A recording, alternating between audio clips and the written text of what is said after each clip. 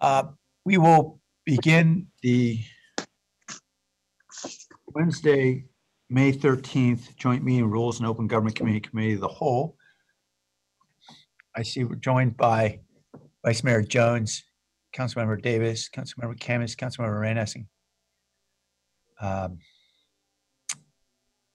Let's see here. I know we have uh, two additional council members here. Um, Yes, so we do have a quorum. Everyone's present. Um, We begin with a review of the final agenda, May 19. And I believe there's an ad sheet that has several items. That's the maker of the motion to consider two items, one for Mental Health Awareness Month and one relating to the agreement with Santa Clara County for cost of food distribution. Uh, We'll begin with a review on pages five and six. This is Tony. My computer's frozen, so I can't share the agenda. Okay, thanks, Tony. Good luck with that.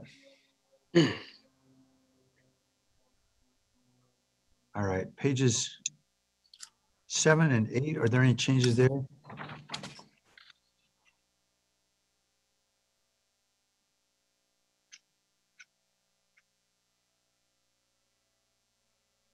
Pages nine and 10?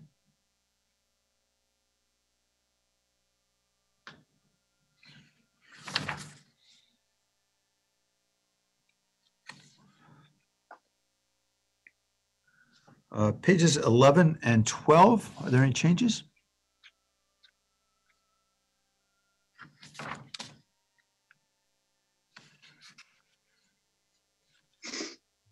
Pages uh, 13 and 14?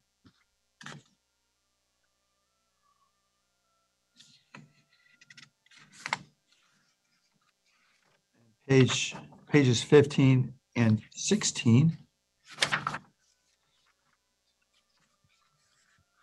Um, Dave, what do you think? Should we be starting this one early? I would concur to that, yes. So maker of the motion might consider an eleven AM start. Motion to approve, um, along with the ad sheet With that includes the mental health awareness sponsored, uh, district event and the agreement with Santa Clara County for distribution of food necessities.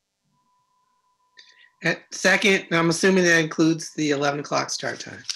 And includes, yes, eleven o'clock start time. Awesome. Great, thank you. Uh, Blair Beekman? Hi, can you hear me? Yes. Yeah, hi. Uh, as this will be, uh, you'll be nicely talking about digital inclusion uh, uh, issues uh, on this on this agenda. Uh, I thank you for that.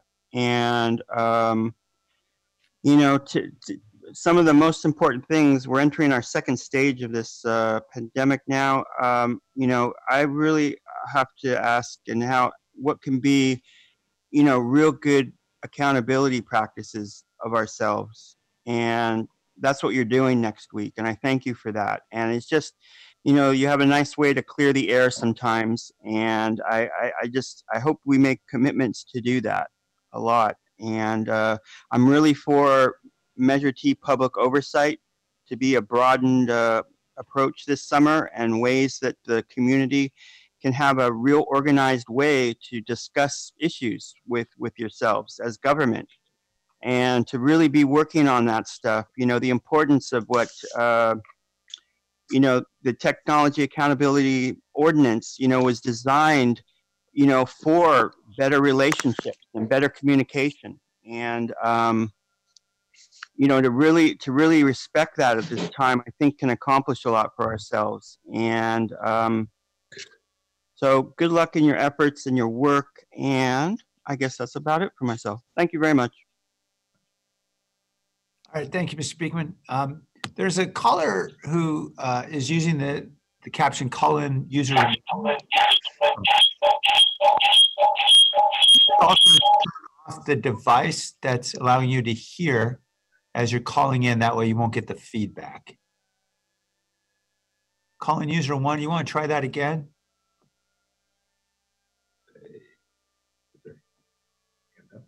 Okay. Calling user one, your hand has gone down. Um, so unless I see your hand go back up, I'm going to assume that you didn't wish to speak on this item. All right, the, the hand has not gone back up. So we'll come back to this item. Uh, all in favor on Councilmember Rainey's motion? Aye. Aye. Any opposed? Okay, that passes unanimously. Uh, We have no council meeting on the 26th of May. Um, We have a, on D1, a uh, request for a setting of a council meeting on August 4th. Mayor, uh, this is Rick. I, uh, I have a short memo attached to the uh, item. Um, This item came up uh, as, as a result of the lawsuit involving the registrar of voters. Um, We received the uh, court decision uh, Friday night and um, it, um, it was, so it was after the Rules Committee last Wednesday. That's why we were asking the committee to consider it now as an urgency item. And so the committee needs to have a, a vote first uh, and uh, needs four votes to determine whether it wants to hear the item or not. Okay, so first we'll consider whether or not we want to hear this item. Um, Is there a motion or a comment? So moved. Second. Second. Okay, uh, motion and second. I'm going to see if any attendees want to speak. They don't. All right, on that motion, all in favor? Aye. Aye. Okay, Any opposed? Okay, so we can now consider that item. That's unanimous. Um, And with regard to the addition of August 4th, can I just add one consideration? Uh, Certainly I'll support this, but it seems to me since nobody's going on vacation presumably, and we're all going to be conducting meetings by Zoom anyway, um, I'm not wishing this on anyone, but should staff need council to get together to vote on something over the summer, it shouldn't be hard for us to be able to set that date. And I just want to sort of encourage uh, Dave to, to consider that flexibly because we're not going anywhere and we can all be within Zoom reach. You appreciate that, Mayor. And, and what you will see at Rules next week actually is the normal item that comes forward that sets the council agenda for the next period. Um, But understood that this needed, had some urgency around it and appreciate what you're saying about July. Um, You know, I think, yeah, so we can kind of think through that. Okay, Yeah, great. And Mayor, I can add that a special meeting can be set on 24 hours notice. So if it, if it's something that needs to be done quickly, uh, there's an ability to do that, assuming council members can be found. Um, The, uh, this is to set a regular meeting, though. This would be your first regular meeting in August. Right. Okay. And, and uh, and you typically, as the city manager indicated, it comes with the, the whole six month. But there's, a- the reason to bring it forward now is we're uh, in the process of uh, having a meet and confer session with the county to determine uh, scheduling and costs, ultimately cost of of the count. Um, And the later we can push out the, the date for the final count, the court order currently says June 23rd. But if we can push that out, uh, it would save overtime costs and as a result, uh, would reduce the, the cost of the uh, count to the city. Um, So we uh, recommend uh, uh, approval and here to answer any questions. Thank you. Any comments? I move approval. Second. Motion from Councilmember Davis, second from Vice Mayor. Okay, uh, Tony, would you like to have a roll call vote? Sure. Arenas, Yes. Davis, Yes. Khamis, Jones, Aye. Liccardo. Aye. And Khamis, you were muted, but I think you said yes. Yes, sorry. Okay, all good. We got everybody. Great, thank you. Uh, we're on to the public record. Um, Checking, I believe Mr. Beekman would like to speak.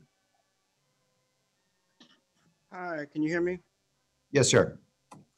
Thank you. Uh, A short speech. uh, I wrote three public letters that uh, speak uh, to this, to these issues that I speak about today. Um, As we are entering a second stage of this pandemic, uh, I hope we are considering, uh, that government can be considering uh, how to be open and how to describe short-term and long-term economic packages of the next year. And to learn how to create a public safe space where we can all talk about thoughts and ideas openly and simply, simply without competition. How do we maintain economic traditions without forcing ourselves into undue burden, debt, and actual pain? Respecting traditions is one thing, but I hope we can be open to at least short-term creative ideas that can be of help and relief to all of us.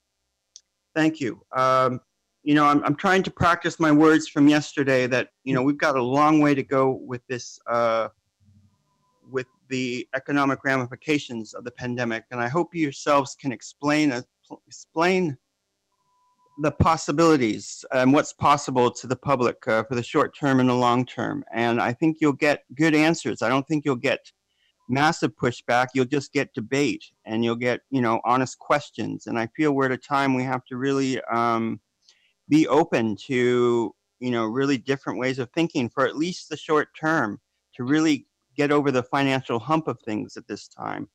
And I, I just hope we can all be open to that as a community and work towards those things as a community. And you know i really want to address how technology we got to be careful of it and wary of it and that the responsible practices that i'm a part of you know it's a way to work towards that and it it needs to be taken seriously and work, you know, as a community on it. And I hope we can do all of that. Thank you, Mr. Thank- Baker.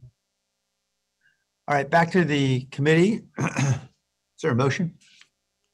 Motion to note and file? Second. Second. Is there any objection to that notion? Motion, rather? Hearing no objection, uh, that motion passes on E, public record. So we're on to item F1, which is an appointment to the VIBA Advisory Committee.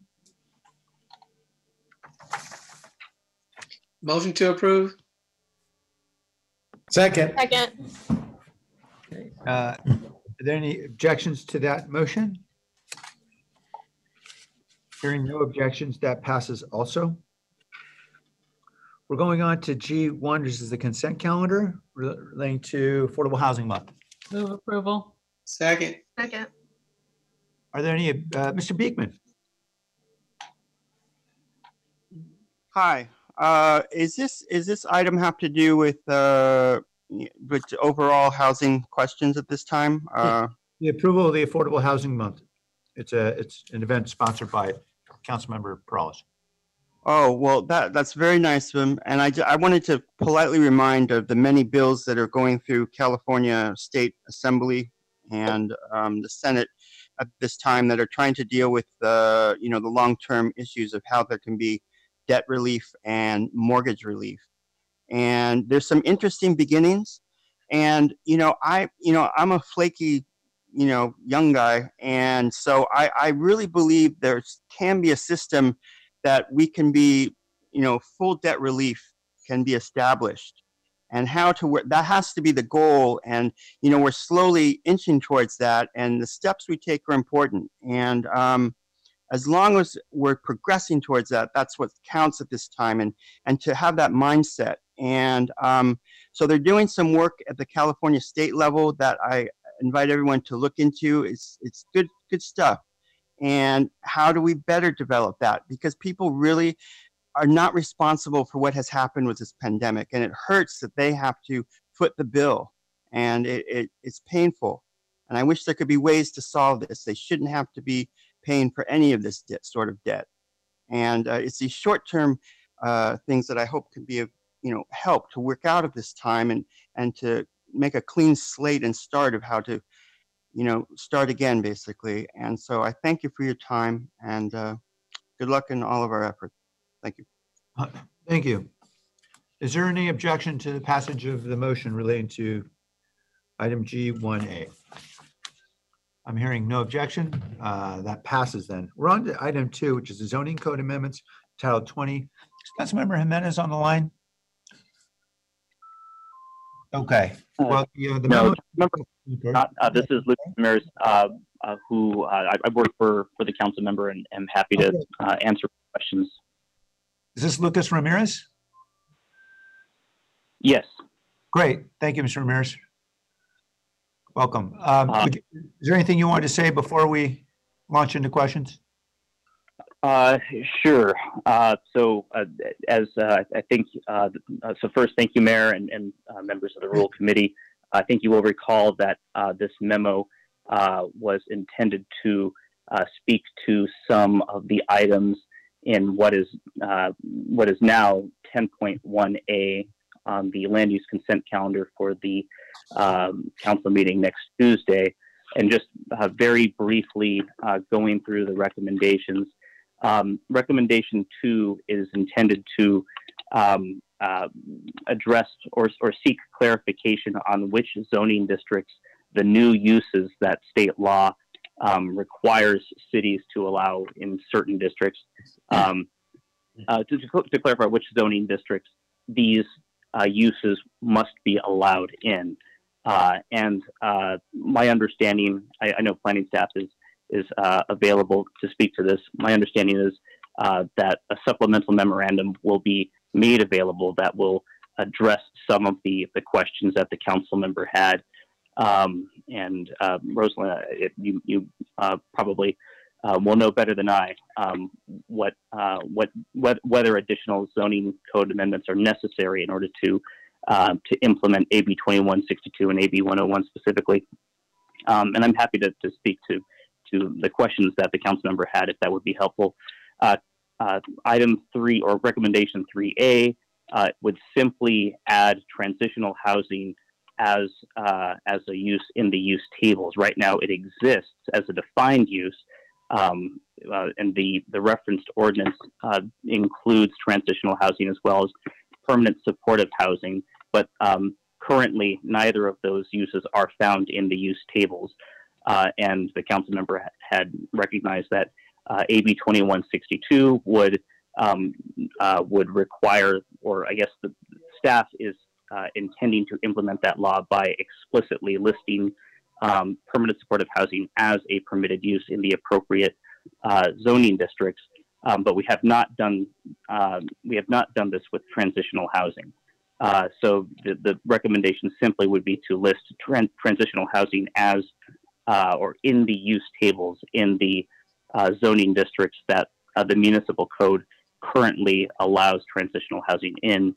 Uh, 3B, my understanding is this is the the uh, the item that would require uh, more work from staff, but it, it, it comes out of uh, an experience that we learned uh, from uh, LifeMoves, which was, I believe, trying to add some additional beds to an existing shelter we learned that there were some challenges associated with doing so. I, I believe LifeMoves has submitted a letter to this effect, um, but this would direct staff to return with some modifications to the zoning code to streamline the, the addition of beds in existing shelters and specifically non or legal non-conforming shelters in industrial zoning districts, uh, as uh, you'll see in the council member's memo, um, with zoning code modifications made last year. Um, several shelters that uh, were uh, legally constructed in industrial zoning districts have become non-conforming um, as emergency shelter no longer is allowed in those zoning districts.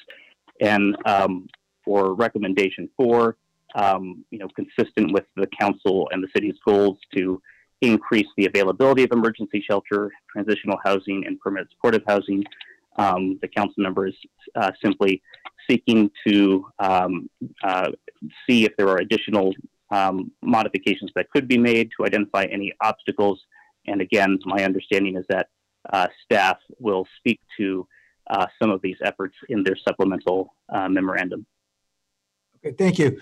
Uh, So we see the uh, response from, uh, I believe it's either Rosalind or somebody on Dave's, oh, from Michael Brilliot, excuse me, that items 2A, B, and C are green lighted. Um, And some remaining items are yellow lighted. Is that fair, Rosalind? Yeah, and if, if I could, before Rosalind jumps in, Mayor, I just wanted to because we have a lot of items on the agenda today. So I think, you know, just stepping back a little bit in terms of how we're approaching these things, you know, we're, in addition to the green, yellow, red process, you know, we're looking to see if it's, if it's COVID related. You know, if it's, if it's COVID related in, in response to the current emergency, uh, you know, we're inclined to move forward with those items. And, and if it's not, then I think we're, we're putting it through the same level of um, review that we normally do with the green, yellow, red.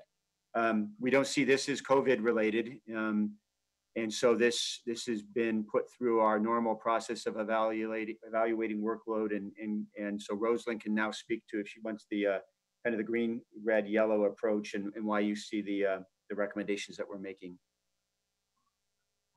Yes, thank you, Dave. So uh, staff has had the opportunity to review Councilmember Jimenez's um, memorandum. And as Lucas stated, um, items 2A, B, and C, uh, we have recommended as a, a green light. Um, And actually, we are drafting a supplemental memo that should be issued by Friday for the item for, for Tuesday's council meeting. Um, item three A is also, um, a green light. Three B is the item that will, uh, require additional staff analysis in terms of looking at expanding emergency shelters in industrial areas. Um, a couple of key things would be, um, impacts on existing industrial, uh, users in these areas, um, as well as we think that we would want to do some outreach, obviously, to um, industrial users and, and really to the community at large. So that's the reason for uh, recommending a yellow light for that item.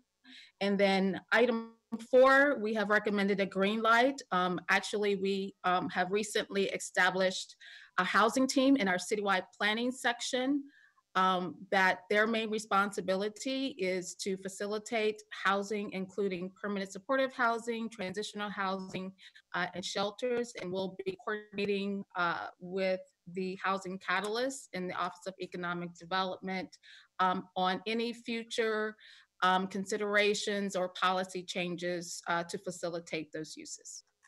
Okay, great. Any uh, comments or motion? Mayor, I have a question. Please. Um, if these are all green light except 3B, does it go to council for consideration on the on the um, ordinance item, or, are staff saying they're already they're they're already working on these items? So staff is not currently working on item 3 be. It's not currently in our work plan. Um, and we do have obviously several other council priority items that we're working on. Um, so that's why we have recommended it as a yellow light. So that, but that means it goes to priority setting. Right. We That's correct. we can do that as a motion here to send 3B directly to priority setting. The other items, they, do they need to go to council? Well, I think what Rosalind's saying that, and, and what I'm hearing is that we're, the other items, they're greenlit and we're able to pretty much integrate them through a supplemental memo with the item that's already scheduled for council, I think is what I'm hearing. Okay. So that doesn't need a motion. It does. It does. The, the, the, the item still has to go to council for, for direction. I mean, the, the, the memo seeks direct council direction to staff and staff is saying they can do it. Um, but it still requires council to say, we want you to go do it. Okay, so the motion would be to direct to, to send item three B to priority setting and to send all the other items to council The next week, yes. the next. Okay, Second. Okay. Uh, Any comments, uh, Councilor Khamis? Oh, no, I had a, a similar question. I'm, I'm not necessarily, yeah, I think the uh, item three B was a little more troubling to me than everything else, but, but I- I'm glad we're going this direction. Thank you. All right, on the motion, uh, Tony, could you roll call vote? Arenas, yes. Davis, Yes. Khamis, Yes. Jones, Aye. Liccardo. Aye. Okay, we're on to Uh, Item three is the fee cap on food delivery services. I see Councilmember Jeff is with us.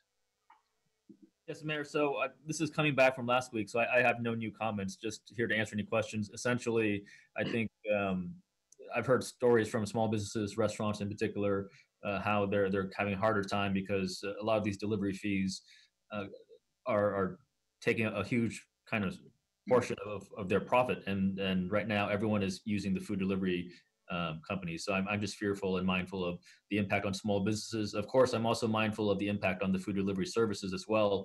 Uh, we want to make sure that they're able to uh, provide the service of delivering food. But I think it's uh, something that the council should uh, debate and uh, see where we land on that.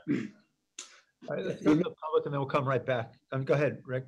Did you want to jump in? No, I, I was just gonna say, we, we, uh, we're just, I was gonna report back on, uh, the legal side of this, but if you want to take comment first, that's fine. When we take comment, we'll come right back to you. Thanks. Uh, Mariah Ray? Hi, can everyone hear me? Yes. Thank you. My name is Maria Ray. I'm the public policy and partnerships lead at DoorDash, which also includes the Caviar brand. I hope my comments today can shed light on who we are, how we operate, and the services we make available to San Jose residents. The core of our platform is logistics. We connect customers, restaurants, and couriers through our website and mobile app.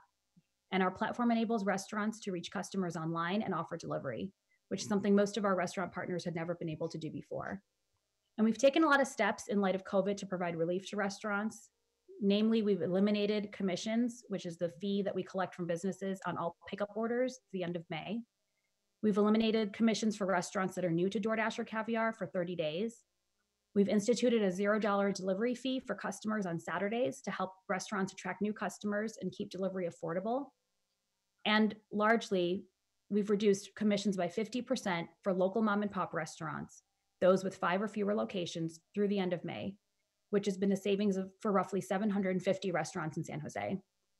We've done a lot for couriers as well. Those are the delivery workers, the independent contractors who deliver on our platform. We've provided PPE free of charge. They have access to two weeks of earnings um, if they're affected by COVID 19. And Dashers in San Jose are earning at or around $27 per active hour, including tips when they're on our platform. We're also very, very proud of our partnership with the city, the Health Trust, and local restaurants to power delivery of 14,000 meals to seniors and homeless residents in San Jose alone. And I'll just close with this for our platform to work, it has to work for restaurants. And so we're open to constructive dialogue. I'd welcome questions about our fee structure. We have grave concerns, however, about this proposal because we feel like it would have massive unintended consequences to consumers, couriers, and even the very restaurants that the proposals are aiming to help. Again, happy to take any questions diving into our business model, our fee structure, and anything else anyone would like to know about. Thank you. All right. Uh, Nate LeBlanc?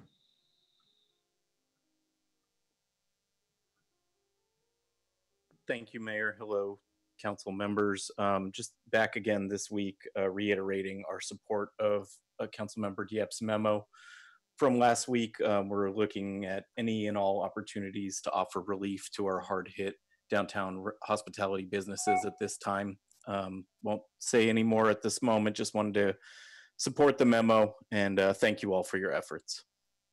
Thanks, Nate. All right, uh, back to committee, uh, Rick and then Dave. Yeah, I, uh, I'll address the legal issues, and I think the city manager staff may have some issues, uh, uh, on the policy questions. Um, the, uh, the, we did look at, uh, Seattle and San Francisco. Uh, both have issued emergency orders, so, the city manager, as the city's emergency services officer, has the ability to issue an order that would accomplish this if, if, he so wished. Um, or the council can adopt an urgency ordinance in the alternative to um, to to enact this as well. There's some concerns, just I think operationally. Um, the um, yeah, this this calls for a 10% if if PPP or protective wear is provided, 15% where it's not uh, in terms of the cap. I think we're really not staffed to keep track of that. I think that would be a logistically a very difficult if the council wanted to go there or, or the manager. And so both uh, both San Francisco and uh, Seattle have the same cap. I think it's 15%, but they don't have a requirement on the, on the PP&E. And I just think logistically, it's difficult. But that would be something for the council if this moves forward for the council to consider if, if they need be. Um, the, um, the rationale obviously is that the the fees are eating into the profits of the, uh, uh, the restaurants, particularly small restaurants. And you need to have some kind of uh, backup for that, but um, uh, rationale, but um, in terms of evidence, but the, the, it- it- it's doable, it's been done. Again, uh, there's two ways to go. And uh, with that, I'll, I'll, I think Dave or uh, Angel, somebody has. you guys have Yeah, some- thanks, Rick. And, and Angel is there to kind of help with this. So just kind of going through our review, uh, certainly COVID related. So it's not a, we're not, you know, kicking it to anywhere else. I think it it merits the discussion. Um, I, we certainly had not identified this as an issue for uh, an emergency order coming out of the EOC.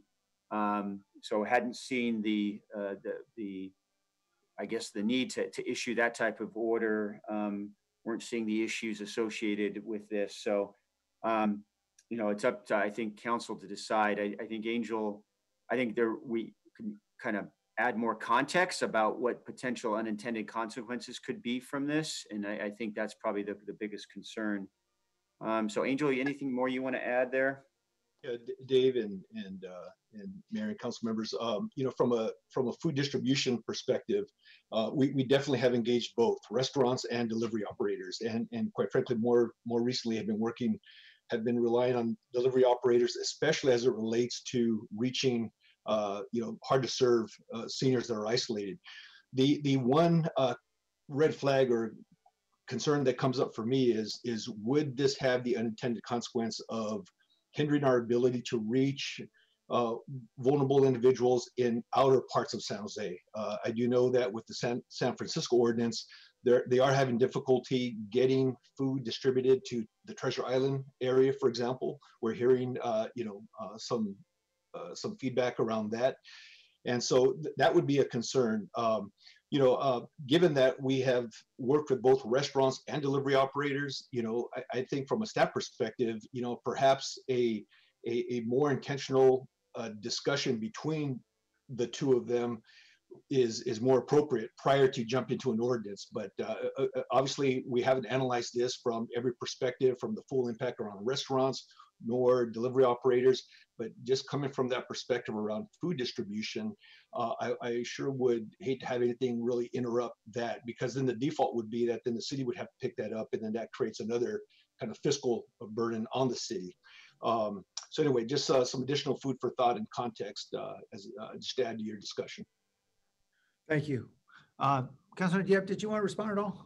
Yeah, sure. So to Rick's point, I, I, I completely understand that, and I'll even flag another potential legal issue is uh, for whether uh, companies can can be asked to provide uh, PPE for independent contractors because one of the kind of if you use if you're still using that prong about whether you're an employee or independent contractor, one of the things is independent contractors provide their their own tools.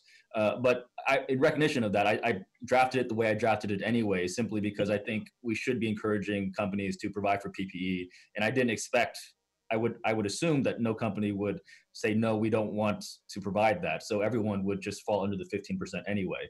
Uh, so in my thinking, I, I just wanted to encourage uh, companies to provide it. And uh, I think that the speaker was from DoorDash. I've, I've actually spoken with her previously, and I, I, I know that DoorDash provides it, and, and but other companies might not. I think recently, just this last week, we we heard uh, there was a story in San Jose Inside about another competitor that that does not provide them. So I, I do think the issue bears council consideration.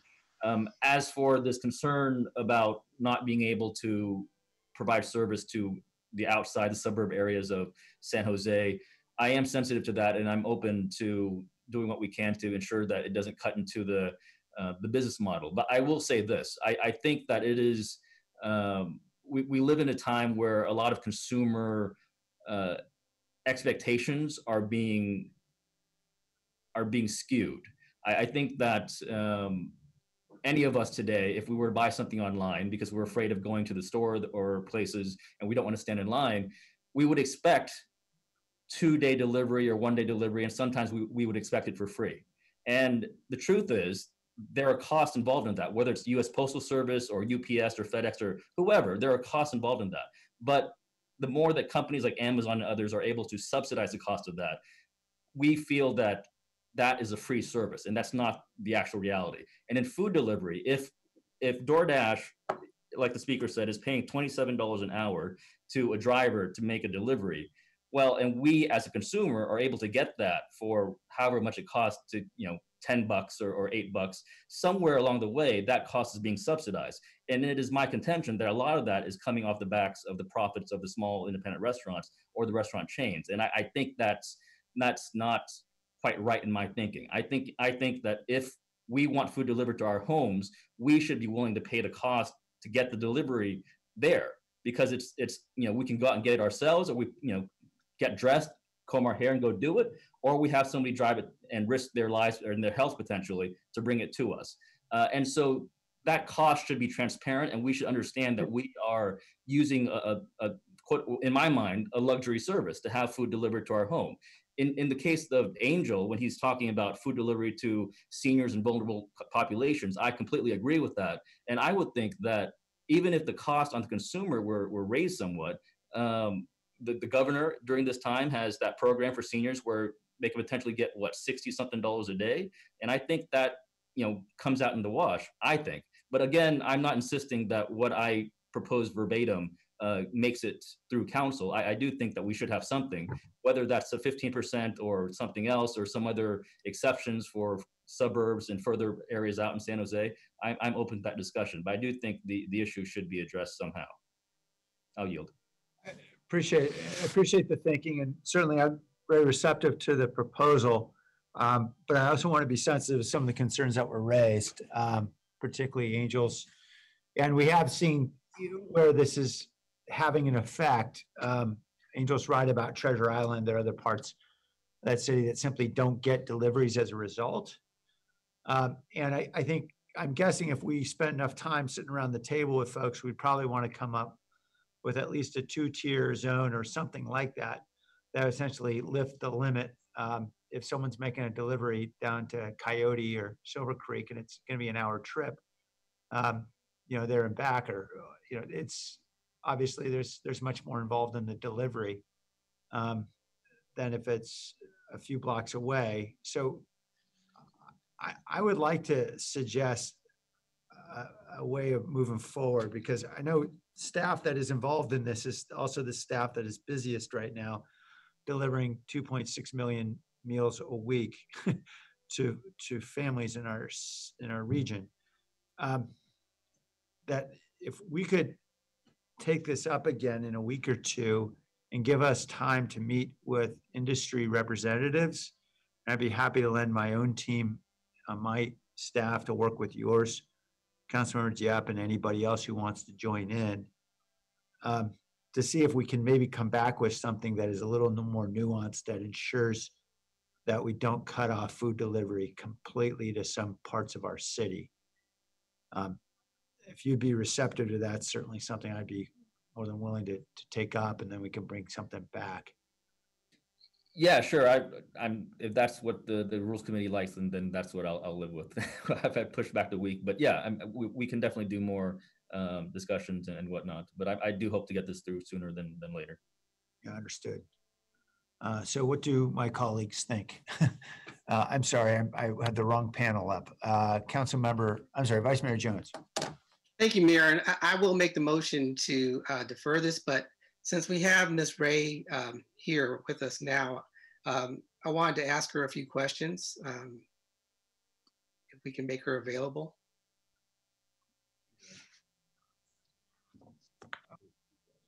Okay, Mariah. I'm Mar here, thank you. Oh, all right. Mariah, um, talk a little more about the business model. I know that it's public information that services like yours um, currently are not profitable or haven't achieved profitability. And can you, um, for what you can provide us, can you walk us through the, the, the, business model in terms of the cost structure and the fee structure, and then also address uh, the question that came up um, about transferring some of those costs to the consumer? Mm -hmm. So mm-hmm. can you walk us through that, please? Yes, thank you for the question, Vice Mayor Jones. Commissions help pay for a wide range of services that we provide restaurants. And our business model is to partner with restaurants who enter into an agreement with us. It's a business to business contract where we provide a set of services for a fee that they pay us.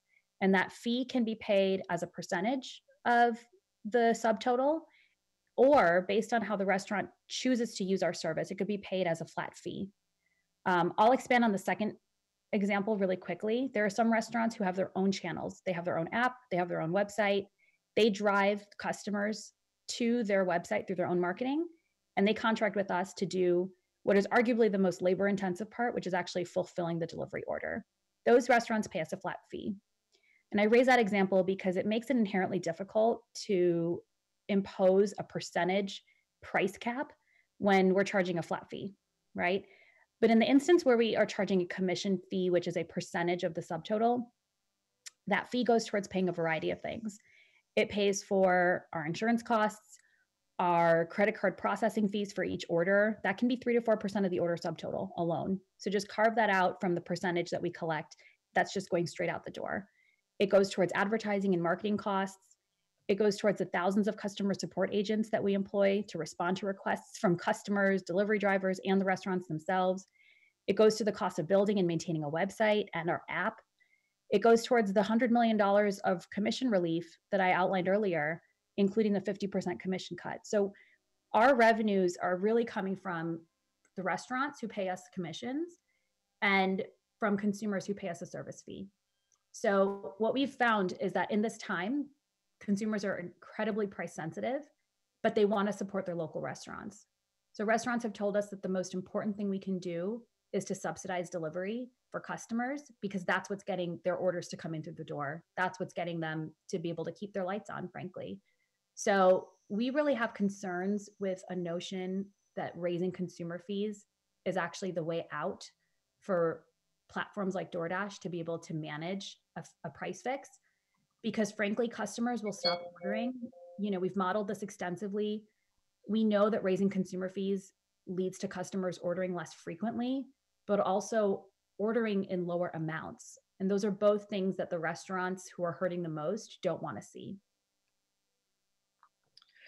And uh, going back to the um, the issue that was raised about San Francisco and uh, a reduction in the service area, um, what what was the thought process behind um, the it, the enactment of their ordinance and the reduction of the service area? Was it strictly cost based, or was there other considerations? What what went into that thought process? Yeah, so I'll say that, you know, we are one platform in a pretty crowded field of a few providers. And it's true that one of the platforms opted quite publicly to reduce their service area as a result of the price cap. Because, uh, you know, I can only imagine they made a calculated decision that it was no longer affordable to be able to continue making deliveries to that remote part of the city. Um, I will say that, you know, that exists probably even more prominently in a city like San Jose, which has, you know, pretty far flung districts, um, you know, areas where there aren't restaurants, um, areas that are harder to reach. And I'll say that in response to COVID 19, I mentioned that our biggest driver for merchant um, relief initially was driving volume. What we did initially at a cost to ourselves is actually expand service areas at the start of COVID 19, because that's something that's within our control. We can take the addressable market for a restaurant and we can expand it ourselves within our app, within our algorithm, and allow for restaurants to reach more customers and drive more sales to them. And frankly, to allow more customers to access the restaurants that they want to order from, given that restaurants were actually closing their doors. So we did that early on.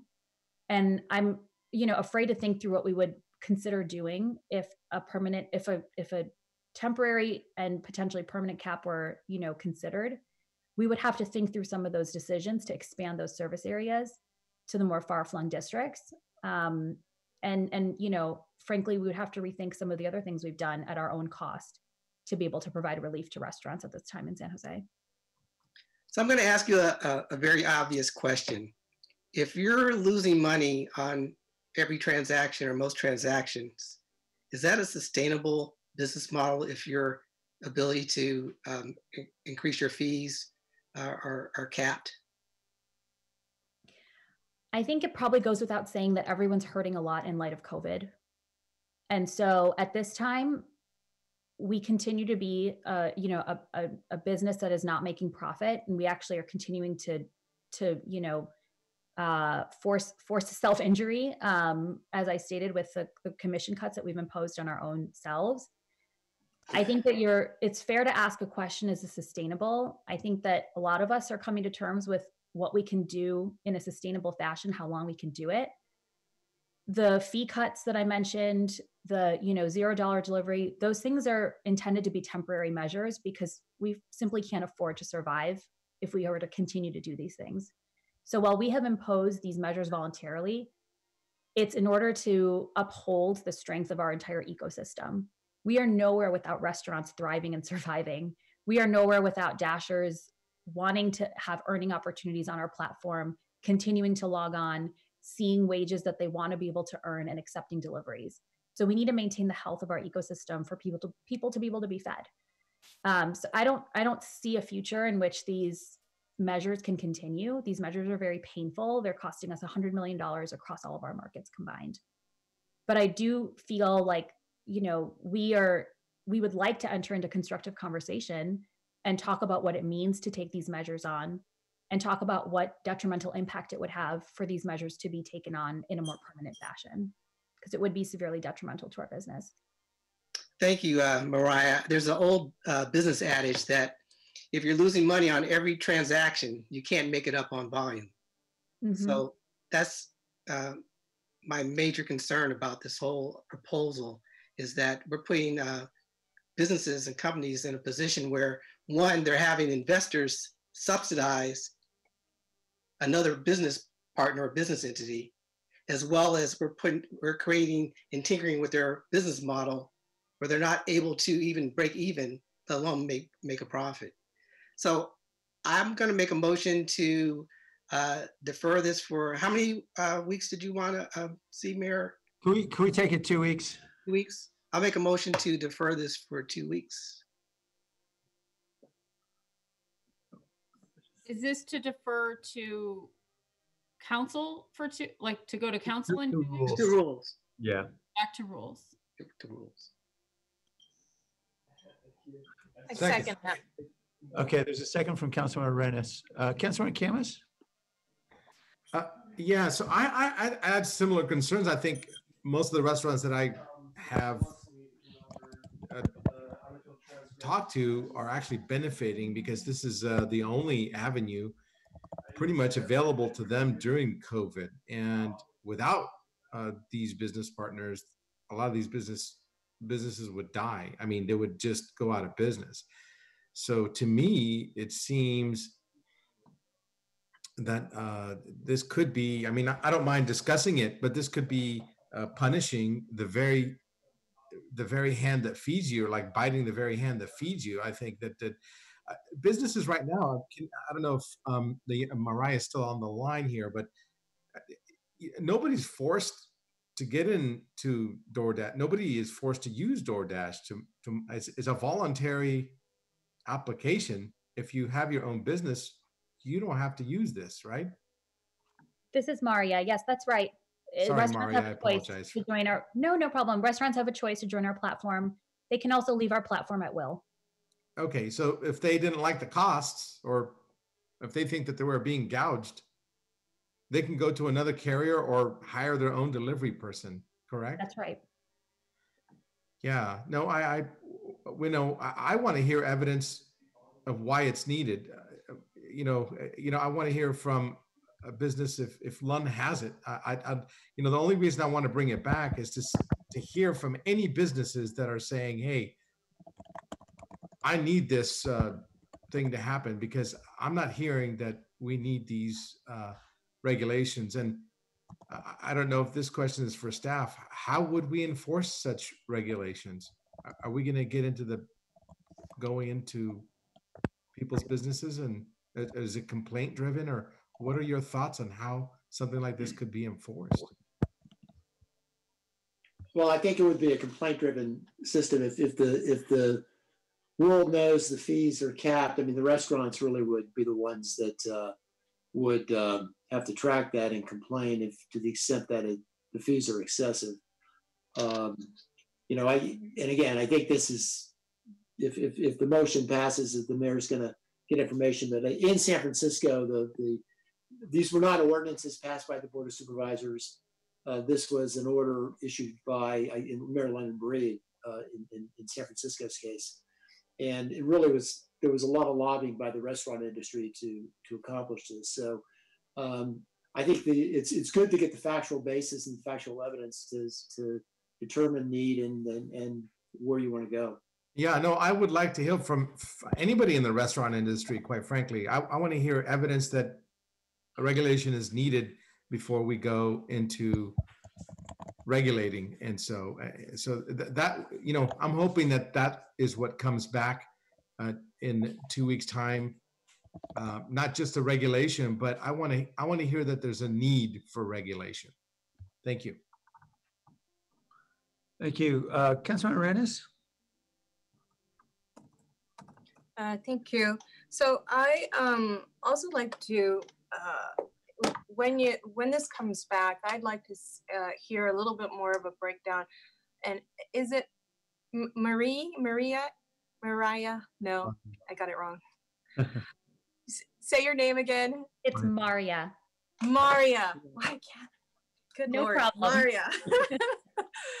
uh, so Maria, I'd like to hear a little bit more. I, I, I appreciate the breakdown that you gave uh, uh, Vice Mayor. I just like to know a little bit more of the breakdown on that gig worker because it was all uh, part of uh, the credit card fee and the overall administrative fee. Um, and my concern is, uh, what is this going to drive um, uh, DoorDash and others like you to do to wages in order to create your own profit if there's a cap um, and if there's an unintended consequence on gig workers. Personally, I not I don't use any food delivery because I, especially during COVID, because I think if I'm not willing to uh, take that risk to go get that food, then um, I shouldn't be cooking. shouldn't ask somebody else to take that risk for me.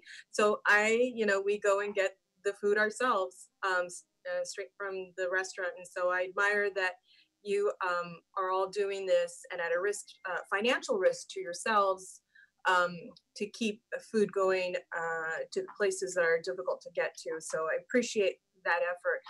Um, could you just share a little bit more in terms of what the breakdown is for for those uh, dashers that you call them? Thank you, council member, for your question. Um, and I'll, I'll just share anecdotally that, you know, I looked right before this meeting and, and noted that Mexico Lindo, Dilac Vegetarian Cuisine, Rajot Indian Cuisine, these are all restaurants in your, in your district that have all benefited from our 50% commission relief program. So if you were to ask, you know, Councilmember Khamis is asking for restaurants to raise their hand and say, we need this. If you were to ask restaurants in your district, particularly the ones that are on DoorDash that have five or fewer locations, which is our definition of, you know, a mom and pop.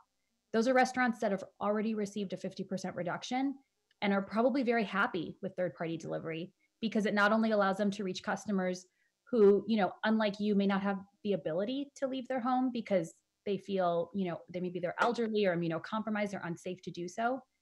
Um, you know, or they just they just prefer the convenience of delivery. So uh, I appreciate your question. You know, while I'm not in a position to share the percentage, you know, breakdown of this this percentage goes towards dashers, what I can say with confidence is that is it is by far the largest portion of the fees we collect.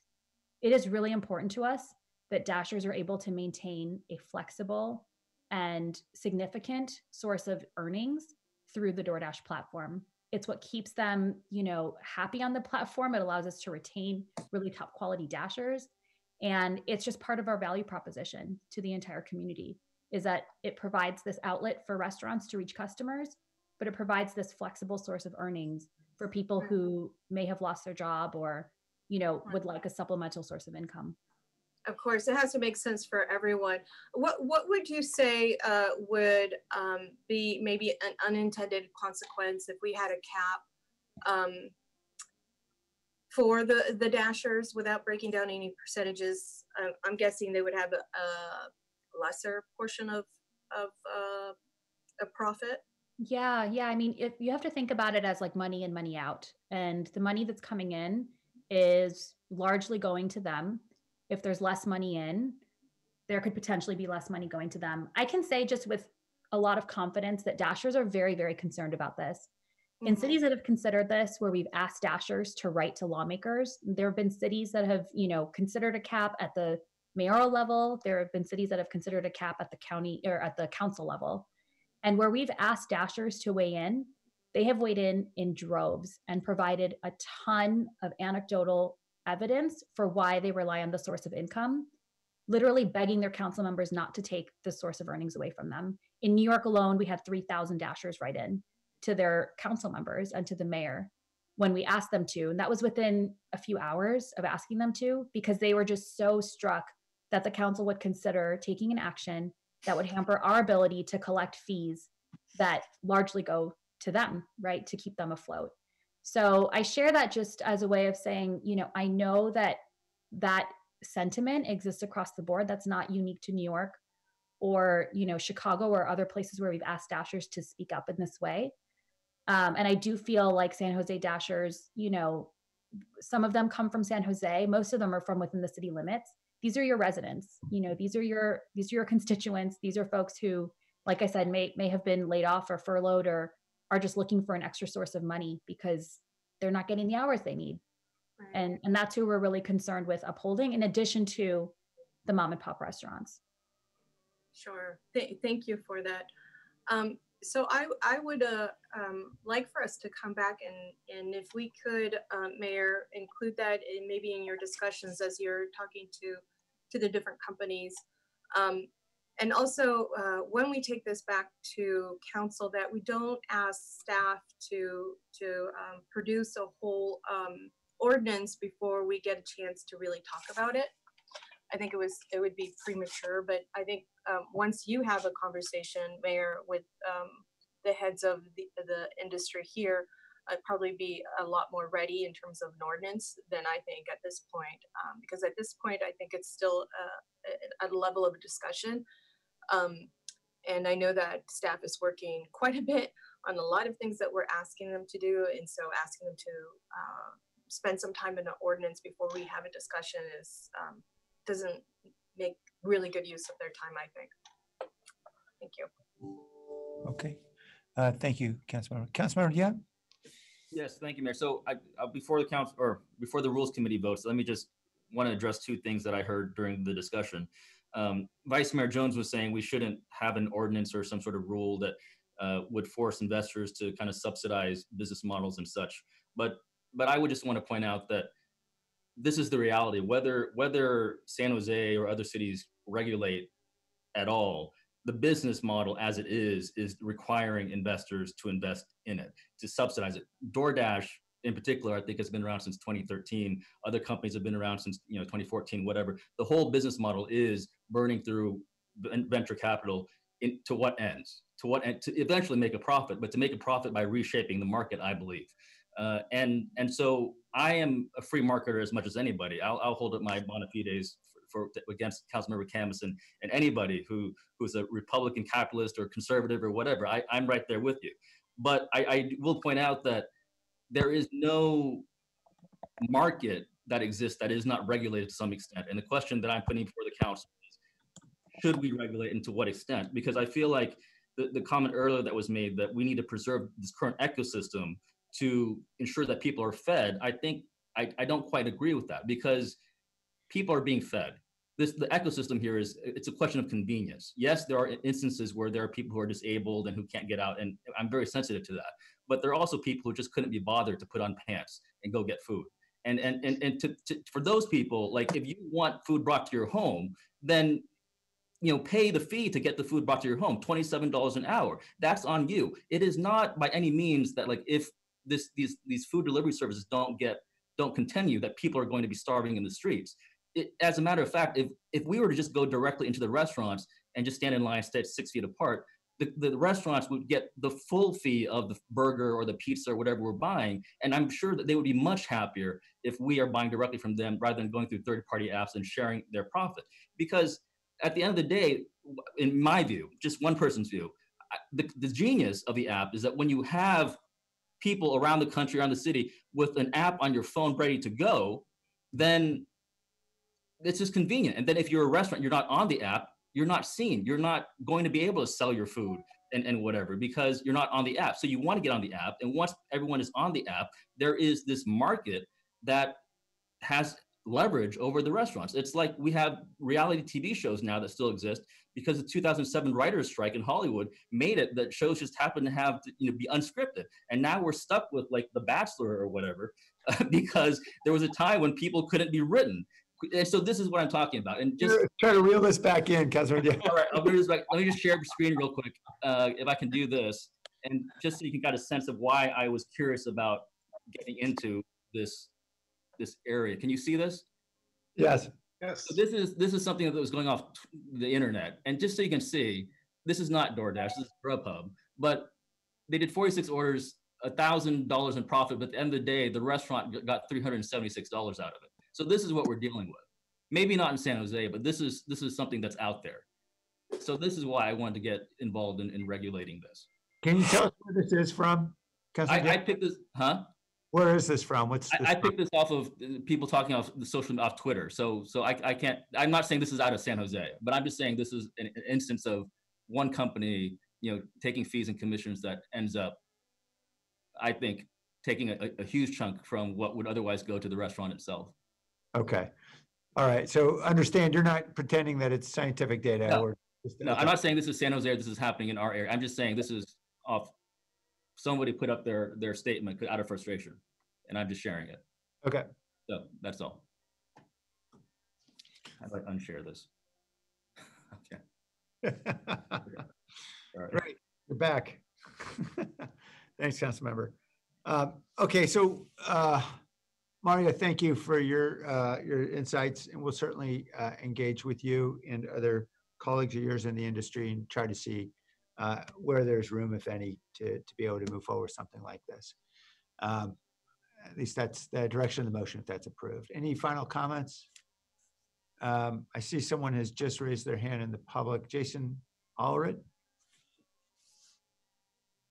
Yes, this is Jason Allred. Can you guys hear me? Yeah. Great. Uh, thanks for giving me the time. Just quick, um, I'm the owner of Henry's World Famous High Life in downtown San Jose. So, um, yeah. So, uh, talking about uh, this issue, if you guys want to talk to someone in the industry, restaurant, I'm available. Uh, Nate has my information. If you want to get a hold of me, I'd love to talk to you about it.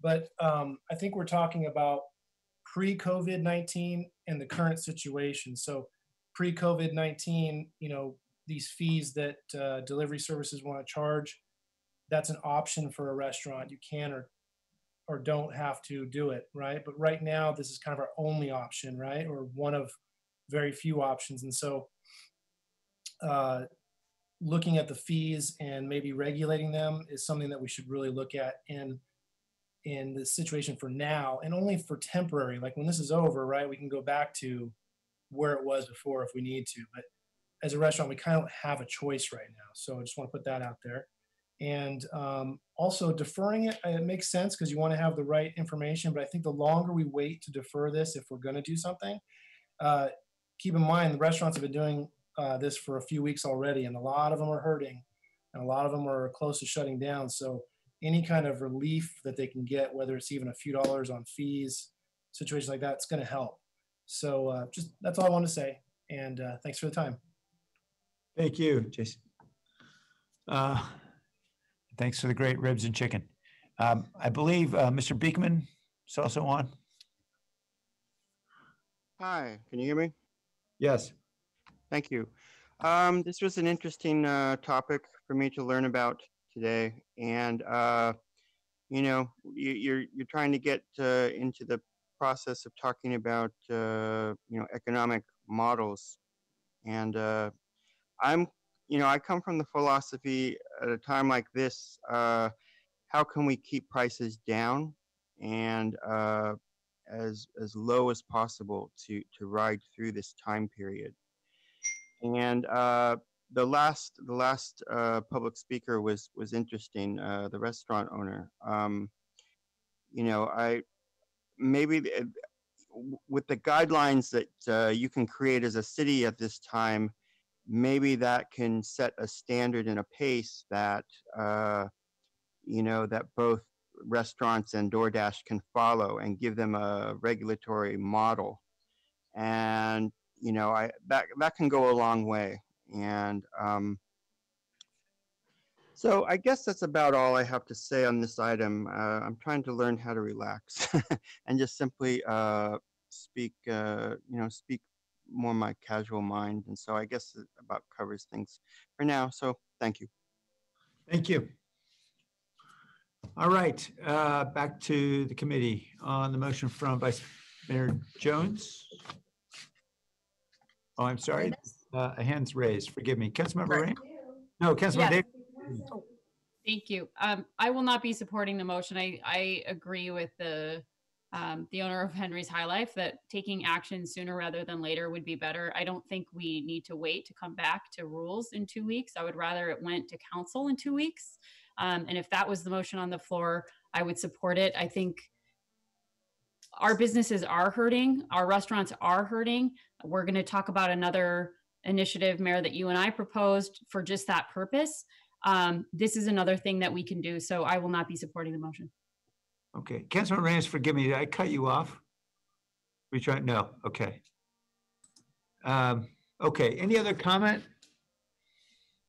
All right, then on, uh, Councilmember, or Vice Mayor Jones's motion to defer a couple weeks. Uh, Arena, thank you. Arenas, Yes. Davis, No. Khamis, Yes. Jones, Aye. Liccardo. Aye. Thank you. Okay, we'll take on this hot potato in a couple of weeks. Uh, Thanks, everybody. Back to, uh, let's see here, item four is the uh, San Jose Al Fresco proposal. Uh, And I'll go first to members of the public on this item, and then we'll come back to the committee. Uh, Nate LeBlanc? Hello again, everyone. Thank you for taking the time to hear public comment on this very important issue. Um, Mayor, we, as the San Jose Downtown Association, uh, gratefully took place in the press conference last week and are actively supporting your memo to allow for use of the public right of way to give businesses space to conduct um, their operations safely during this pandemic. Um, what, what we need to begin discussing today, and I know that you're here to do, is the how and the when and the where and the why. And um, at least in the downtown area, what we really want to push for you guys to consider is uh, having as much of as possible by right, um, and it, in particular to uh, consider the totality of the issue for um, the restaurant industry in particular. Um, taking sidewalk space as long as there's room for pedestrians to go seems to be easily enough to consider, but closing streets and having them monitored and uh, kind of extending premises, particularly for alcohol, are extremely thorny issues that need to be considered. And we're going to need strong leadership in order to do so. So um, we support your memo. We support the idea behind this. And what we really need to see is a quick consideration of how this can be implemented safely and how we're actually going to do this. And in the downtown area in particular, again, just uh, want to avoid lengthy permit processes, expensive permit processes, and um, people needing to buy new equipment such as fencing or um, velvet ropes or what have you to maintain their premises. We need to do this with what's available on hand as quickly as humanly possible. And we thank you for your leadership in putting this forward. Thank you. Sorry, I'm unable to see a participant list right now because the screen seems to be jammed up. Uh, Jason Allred? Hello again, uh, Jason, uh, owner of Henry's World Famous High Life. Thanks everyone for the time. It's great to see you all. Uh, I just want to give you a little perspective from uh, food service business on this. Um, based on some of the guidelines we've seen come out of California and other states for reopening the economy, uh, and how the issue of outside service is going to be critical, a critical option for restaurants and bars in the near future. Uh, not all restaurants have large spaces or square footage like us. And so social distancing inside is not going to be a viable option. It's an almost certainty that uh, restaurants and bars will not be back to normal capacity anytime soon. And normal capacity is what we need, what restaurants and bars need to stay in business. And if our out, if our indoor capacity is limited, which it most certainly will be, we will need to be able to serve outside. Um, the process of getting permission to do this via permits can take months sometimes, weeks or months sometimes, and we need it to be by right. And we need it to be by right so it's immediate. Um, if a restaurant or bar owns or leases the property or for serving food and drink, they should be able to serve outside as soon as the city uh, gives the order that restaurants can open for dine-in. It needs to be immediate. Uh, and this includes alcohol sales. And this is important because uh, alcohol sales are so important to the, to the success of restaurants and bars. The city will need to address this with the ABC, no doubt, uh, so that no one's at risk of losing their license for serving outside of normal parameters like the sidewalk or parking lots. And uh, we can't be expected to rent or erect fences or barriers um, because we don't have the money to pay for it. Alcohol sales are incredibly important to us, and so serving outside must include alcohol. The margins on food are not enough to keep us going on a limited capacity basis. Keeping in mind that most restaurants have been operating on food margins only and uh, significantly reduced revenues for, for months now. So outside seating options and outside alcohol sales will be critical for restaurants and their ability to survive in the next few months. And uh, if we want to get our bars and restaurants back up to full capacity quickly, outside seating will almost certainly do this in many cases. Uh, thanks. That's all I have. Uh, Eddie Truong? Uh, thank you, Mayor Liccardo and Councilmember Davis, for your leadership in putting forward the San Jose Alfresco memo uh, forward. Uh, my name is Eddie Truong, Director of Government Relations at the Silicon Valley Organization. We are the region's Chamber of Commerce, representing the interests of over 1,200 businesses in the region. Uh, again, I want to iterate our strong support of this memo. Uh, first of all, thank you to the Mayor and to Councilmember Davis for your proactive uh, and visionary position in terms of uh, preparing the city of San Jose's local restaurant businesses to operate safely once shelter in place um, orders have been relaxed. Uh, we know this, which is that when shelter in place is relaxed, um, that our restaurants will still be operating at likely 50% or less capacity for dine-in options.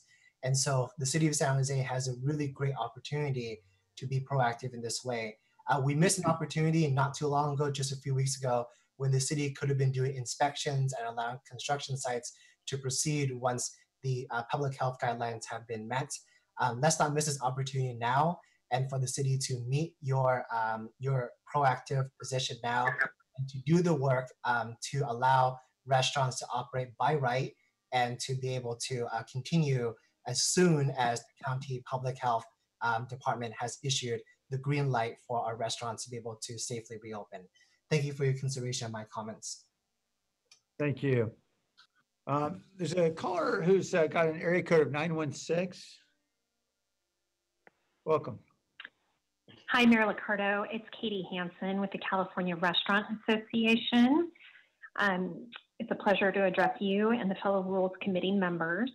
The alfresco dining proposal is in alignment with the California Restaurant Association's recommendations for reopening neighborhood restaurants Creating additional creative outdoor dining spaces will be necessary to ensure proper physical distancing procedures during this pandemic through the greater use of outdoor public space.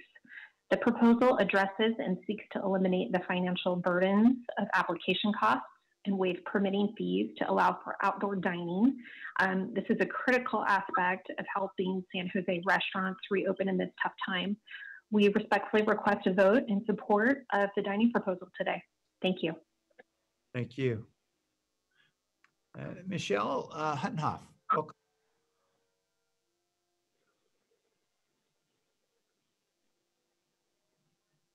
Michelle, could you remove uh, yourself from mute?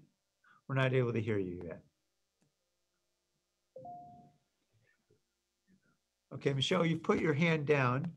Unless I see your hand go up, I'm going to assume that you did not want to speak on this item. Uh, Perhaps it was on a different item. Uh, So, oh, your hand is back up now, Michelle. Could you unmute yourself? Go ahead. Yes, can you hear me? Yes. Hi, uh, sorry about that. Um, my name is Michelle Huttenhoff. I'm the policy director for placemaking in public life with Spur. We are absolutely thrilled with this program, and we think it's going to be really transformational in the city, not only during this time as we move back online through this pandemic, but really as a way to manifest a lot of the work that the city's been doing around public life over the past several years. Um, we really urge uh, that this type of initiative is casted citywide. Many of our small businesses are located in very uh, distinct neighborhoods in the community that could benefit from this type of intervention. But we also recommend that this be packaged with a few other measures. And in our outreach in the community, we've heard two things. One, that businesses need flexibility and they need additional space. And so we've submitted a letter that outlines additional measures we think could be beneficial from creating business recovery zones, reducing fees and allowing for implicit temporary uses, analyzing capping delivering fees, which you've all discussed prior, and then rethinking parks and parking lots to serve as multi-use spaces. And so we look forward to the conversation and are here to partner and support this work um, throughout the next several months. Thank you. Thanks, Michelle, and thanks for your and Spurs partnership on this. All right, we'll come back to the committee and um, just want to first acknowledge that this is not by any means a new idea. It's something that people like Blage, Zelalich, and, and and Kim Walesh and many others in the city have been working on several years about how we can better utilize uh, our public space and bring people outdoor. Uh, It just so happens this is an emergency when it becomes more of an imperative for our uh, businesses to be able to bring commerce outdoors. And I think there's a bit of an opportunity perhaps in this crisis as well for us to, to think a little differently. I, I appreciate the input from several members of our community about the desire to have by right access. And obviously that won't be possible if we're talking about closing streets, but perhaps uh, with some, uh, some of the more modest uh, opportunities, for example, to use uh, private uh, parking spaces uh, in parking lots, for example, in a strip mall, wherever. You know, those are the kinds of things that hopefully uh, we might be able to get to uh, simply some some by right uh, access to really relieve burden within City Hall and relieve the burden on businesses to have to to uh, to deal with applications and delays and, and obviously fees. So recognize that there's a desire, I think, all around to find an easy way forward for folks, although there are undoubtedly going to be conflicts, in, as there always are in the use of public space. As long as we have 19-year-olds speeding along on scooters, uh, we're going to have safety concerns about how people use the space and may have to manage it very carefully. So um, why don't I go first to, let me ask, uh, Dave or Kim, did you want to jump in before we go to the committee? Um, no, I think we're good. You know, I think this is obviously COVID related, so, um, and so we're supportive of, of, of bringing this forward and doing the work associated with it. I know Kim and Blage have already spent some time on it and have some thoughts about it, so, um, look forward to sharing those with you. Okay, great. And uh, we, of course, are fortunate to benefit from partnerships like uh, Spur and Downtown Association. I think there's gonna be a lot of ideas about helping us identify the ideal geographies to be able to start and, and make this relatively easy on folks. Uh, Councilmember Davis, thank you for your work on this memo. Thank you, Mayor. Um, I wanted to clear up one thing before I go into my comments because I've gotten some emails about this, and it is that we are just trying to have uh, staff and and all of us in the city be ready for when Dr. Cody allows businesses to be open again. Um, there were some comments that I got over email. I don't know if you did as well, Mayor. Um, very concerned that we were reopening uh, businesses too early with this memo, and this is not what we were intending. So I just want to be clear. I know all my colleagues understand that, but I want to make sure that the public understands that we we at the city know that we are not the people who decide when businesses can reopen, but we are in charge of land use, and we want to make sure that we are ready and the staff is ready with policies to be put in place so that businesses can reopen and be profitable again. Um, so I just wanted to make that completely clear because uh, there there was some confusion about that. I think when people read in the paper about it. Um, but I I am so grateful already to the enthusiastic response from from city staff. I heard from a few city staff uh, even last week and earlier this week that they were already talking about this and trying to figure out how it might work. And I know that there were there. I spoke with some business owners already on Lincoln Avenue in my district, and they're also already kicking around ideas and have ideas on how this might work in their areas. So I'm hoping that we can have engagement very, very early so that we can kind of build in the flexibility and not have to take things case by case um, or area by area, but that we can have staff directly working with our business owners as they're crafting the recommendations for us so that we can have it kind of all all ready to go when when the businesses are ready to be open. Thank you. Uh, Councilmember Khamis? Well, you know, I, I, I, don't know. I, I had to say hallelujah again. There's two weeks in a row, Mayor, uh, for memos that you're involved with. Uh, I have, I have um, been talking about this for quite some time, ever since I've been in office. In fact, in fact, I've been asking Angel Rios to allow for our even our parks to be used uh, for vendors. And uh, we even had a pilot a while back, but I'm glad that we're going down this direction. Anything that we could do to help these businesses stay afloat um, and allow people to use to enjoy some of the outdoors. I also don't want this to be limited to downtown. I think there's a lot of areas in my district that could be uh, benefit from this ordinance. Um, you know, maybe take away two parking spots out of a big, you know, um, uh, parking lot area, and I, I'd love to see it expanded past downtown. I, I and my own, that's my only my only comment is I don't want to see that, uh, you know, just for downtown. Yeah, I'll make a yeah. Sorry. That was certainly not our intention. We, we do expect this to be citywide and, you know, as Joel, a member of our team, commented to me, maybe the easiest place to, to do this is be in a strip mall.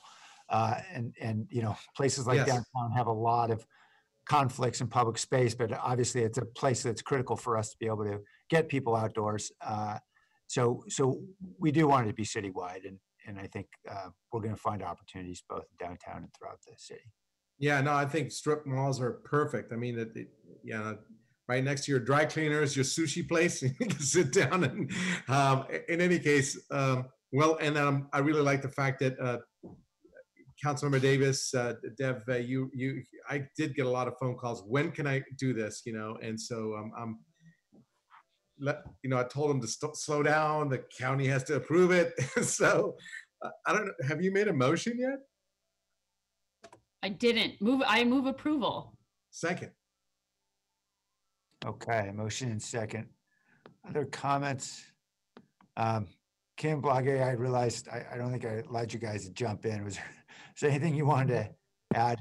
Or any words of warning? Uh, No, just we're totally on board with this opportunity and just a really bright spot is we already had a great conversation with the state director of ABC and it was Okay. very positive. I mean, he's generally inclined to continue to allow these relaxed regulations um, concerning alcohol sales with restaurants, even if we bring it outside. So um, we're, we're really excited about this. That's happy news. I thought ABC would be particularly challenging, given our past experience. So that's great news. Councilmember Reyes? I have a question. I, I'm really excited about this too. So congratulations, Mayor and uh, Councilmember Davis. This is absolutely in line with our, our wonderful California weather. So I'm excited because we don't get a lot of these um, outdoor uh, businesses uh, or outdoor seating uh, for our strip mall type of businesses. And so I'm really excited about this. How is this going to work with our storefront grant? I, um, I guess first of all, is our storefront grant uh, still going to be up and running, and how is that going to work with that? I suspect we'll decide in June, huh? Uh, Anybody Well, want I. I hope it doesn't go away, and, and that Yeah. way it can work in conjunction. I know in our uh, village square, we were able to get a couple of storefront grants for some of our new businesses. And so I know this is for like the permits, the cafe permits and fees, but I think it would be a great idea if we could marry those two things. Um, and then that way they can also, uh, we can help absorb some of those fees. I- I know the city manager's proposed budget just came out this morning or last night, so I can't recall honestly whether it's in there or not. Uh, If you're going to test your Yeah, memory. I'm trying to think. Um, so we'll, we'll have to, we'll have to look at that. Um, I, I, I can't tell you right now whether that's in there or not. So we'll, we'll look at that and, and I think we can marry up at least the discussion and figure that out. Awesome, awesome. I'm also excited um, that this is going to be citywide. Um, I know that that uh, everybody loves to congregate, including myself, um, actually in D in D6 in downtown Willow Glen, and in downtown areas. But we want that in all of our districts, um, and so that it's accessible for everybody to enjoy the nice weather and a really good uh, meal. Um, by the way, I went to Aqui's in uh, D2, I think it was D2, and uh, they were they were uh, offering me the, uh, a swirl, which is you know their uh, famous uh, uh, margarita uh, flavored Very famous. drinks on a to-go basis. Like you could walk outside with it, and I thought, well, this is very very strange, um, but I'll take a swirl, make it watermelon. um, so I look forward to being able to do that, and with the meal sit- sitting down. So congratulations, this is a great, uh, great proposal. Yes, the to-go swirl is saving uh, the mental health of our city, apparently. Councilmember Khamis? Yeah, I want to make a correction that you had the Aqui's uh, in District 10, not District 2. We actually had, it's across the border. But Uh, you mean on Blossom Hill? yes, The, the that- one, is, that- is that D10? yes, it is. SD10. There is one on Lincoln Avenue, however. Uh, but I also, I, I, I do also want to potentially uh, address the, the um, allowing people to take home uh, uh, things uh, such as these swirls uh, past this uh, lightning, because I think a lot of the businesses uh, that can, that have specialty cocktails would benefit from staying in business as well, uh, you know, past this. When we start reopening some of this, I think they'll still need to have that temporary moratorium that allows them to uh, deliver alcoholic beverages. So um, I don't, I don't know if that could be thought about as well. Okay.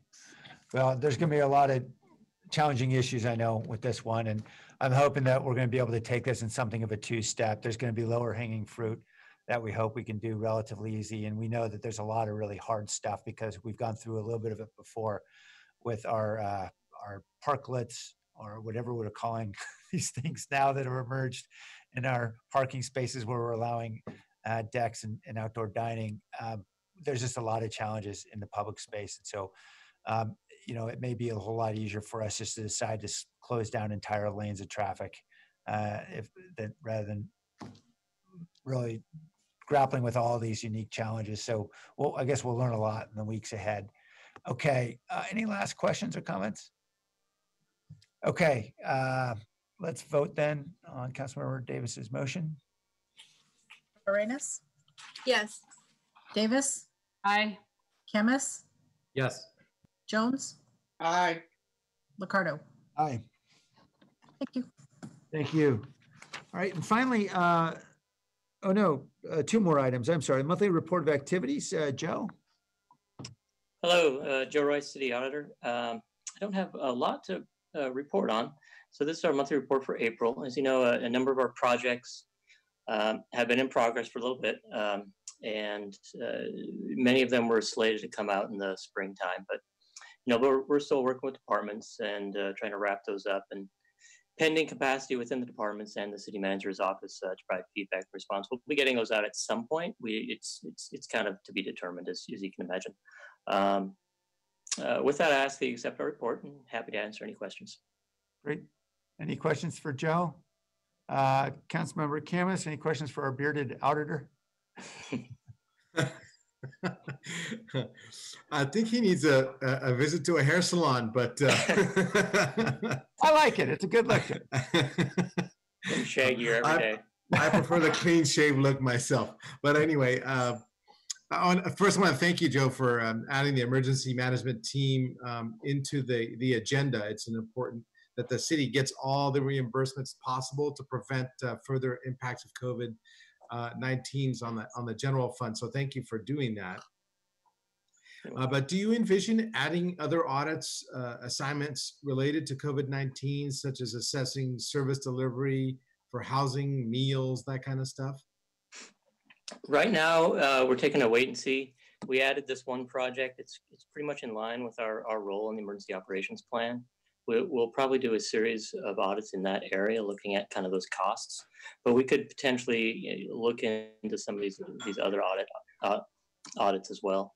We're kind of like everybody else, we're kind of stretched with capacity just because about half our office is moved or not. A number of people in our office have moved into other disaster service worker roles, uh, working in with the logistics team or working with nonprofit assistance group and things of that nature. So we've got about three folks working on the COVID-19 documentation audit. Probably could free up a few more for a bit more audit work, but it's really just working with, uh, you know, the ESC folks, figuring out where we can add the most value. Um, and what have Yeah, that, that that's that's where I was going. I, I just want to make sure that we can get reimbursed uh, to to to the, as much extent as we could uh, Yeah. with the dollars that we have, and and if we need to prioritize it, then you have my blessings if if you need it. Okay. Yeah. And um, So yeah. any any additional work I'll be bringing to you know I, I come to you all each month. I could add additional work uh, as as necessary. Okay, great. I'll make a motion to approve the report. Second. Thank you. Uh, Hey, Joe, uh, my recollection, you- specifically auditor's team is very heavily involved in uh, the reimbursement process. Is that right? Correct. Okay, so appreciate that. It's going to consume an awful lot of your time, not just now, but for quite a while. Um, For those assignments that are in process, like fleet maintenance, park maintenance, police staffing, obviously, when you undertook those projects, you're operating under a very different set of assumptions than we have today about our staffing and our abilities. to cope. Yeah. Um, Is there an opportunity in all of those to sort of engage in a pivot around the focus? Uh, I know, you know, it's all around efficiency, but now efficiency is going to be viewed in a world of, of less rather than at the same capacity. Is that something you can incorporate into those audits? That's a that's a great question. So that's one thing we, we've been looking at is relooking at you know some of the recommendations and do, and how do they fit within the current budget environment? How do they fit with the current service environment? Um, and some might be a little bit longer term, and some may not make as much sense as they may have in a different uh, world. So we're looking at those. Um, again, a lot of them recommendations are about prioritization. It's about efficiencies. It's about uh, kind of uh, procedural type things, and they they still make sense. Um, but we're taking a taking a look, making sure um, that the recommendations are they still are practical in in, a, in, a, in in the sense of uh, what our current environment is. Okay, thanks, Joe. Um, And I certainly don't want to in any way discourage you from deciding you need to pull the plug on something because it just doesn't seem as relevant today's environment. Um, All right, Mr. Beekman?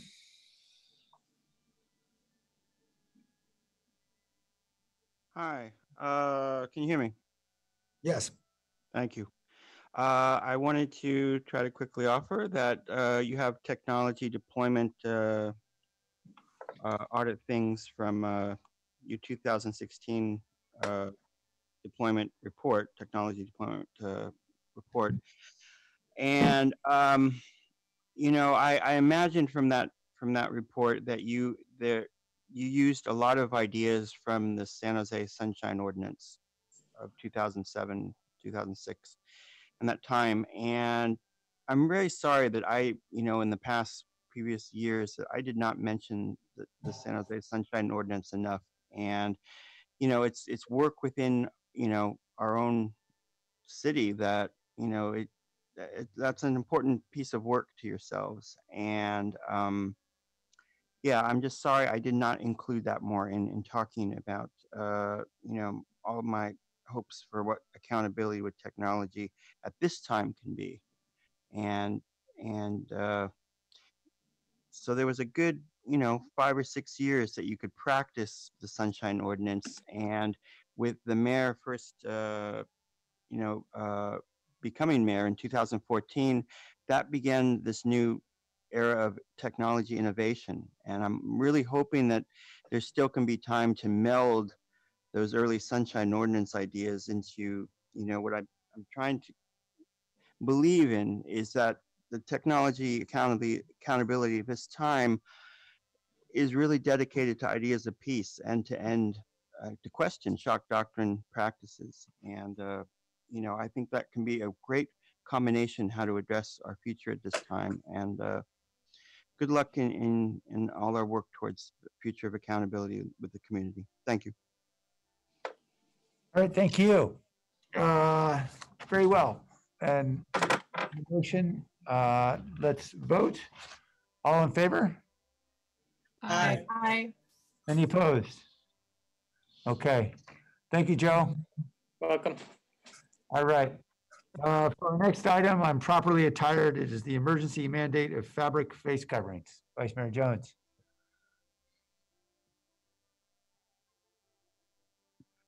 Vice Thank you, Mayor. And uh, yes, you are appropriately covered.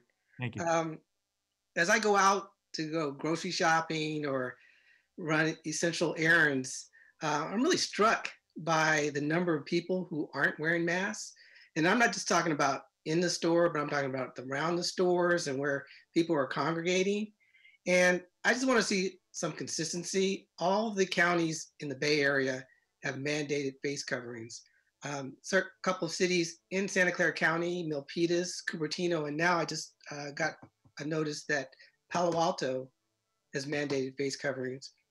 So I just want some consistency and some clarity. The county is urging people to have face coverings, but when people hear urge, that implies that they have the option. They they can make the decision to wear face coverings or not.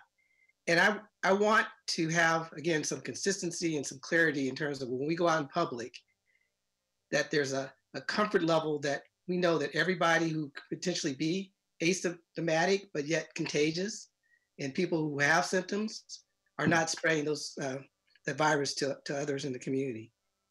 We're also talking about opening up in the process of opening up restaurants and, and businesses. And there's assumption that if we open it, they will come.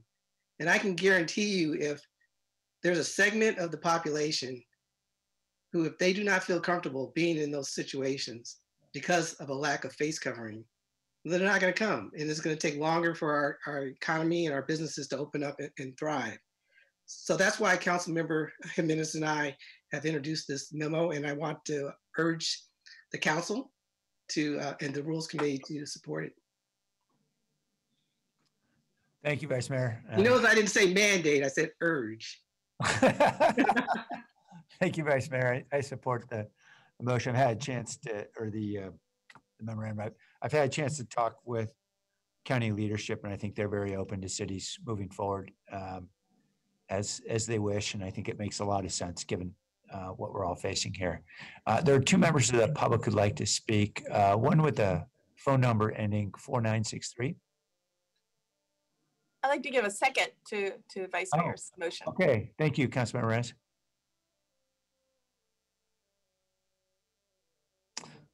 Uh, on four nine six three, uh, you may be on mute. We're not able to hear you yet. Okay, I shouldn't be on mute now. Can you hear me? Yes, we can. Okay, I strongly support this. I wish it said urge. Uh, COVID 19 is having a disparate impact on seniors and on folks of color.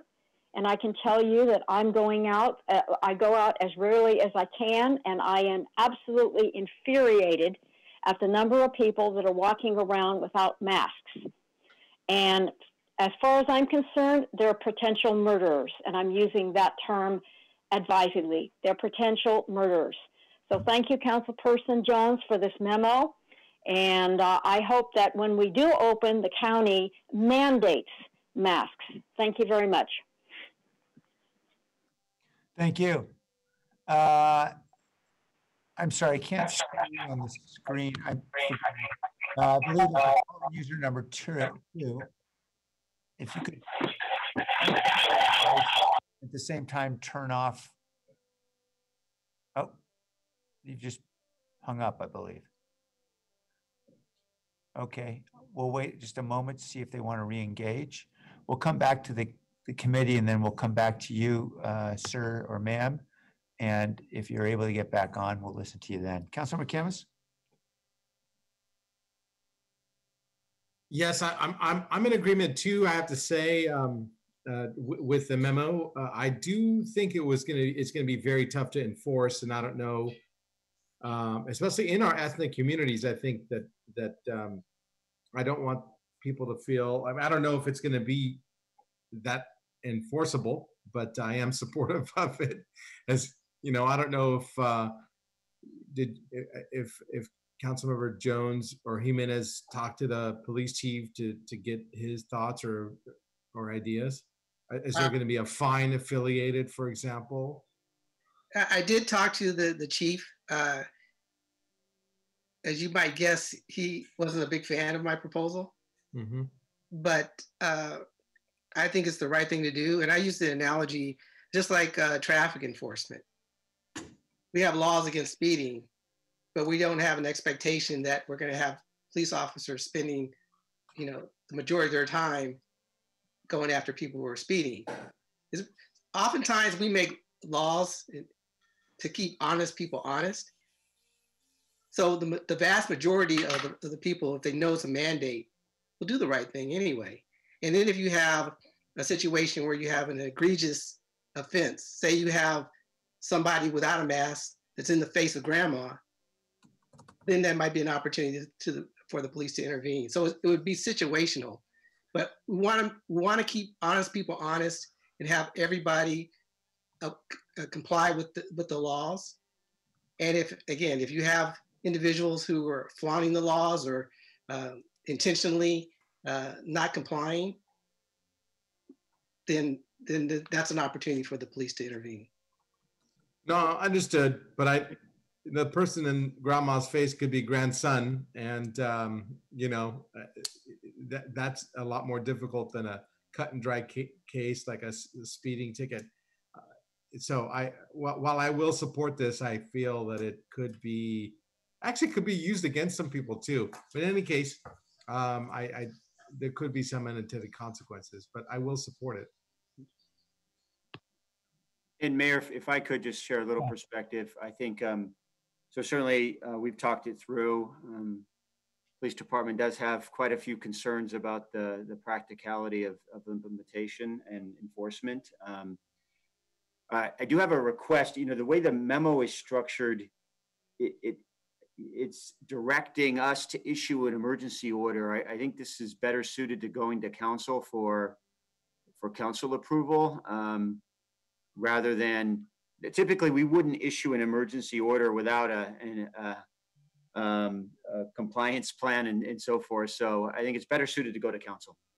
Yeah, it makes sense. Okay, I can make that uh, modification and have it go to council for the 19th. Okay, is that okay with uh, Councilmember Reyes? Yes, of course. Okay, great. Uh, Blair Beekman? Hello, can you hear me? Yes. Thank you. Um, I just wanted to quickly ask, uh, thank you that you would, uh, you'd be willing to bring this to council, and if you do, at that.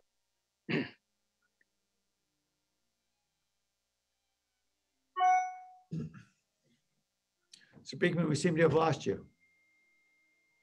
Hi, whoops, sorry about that.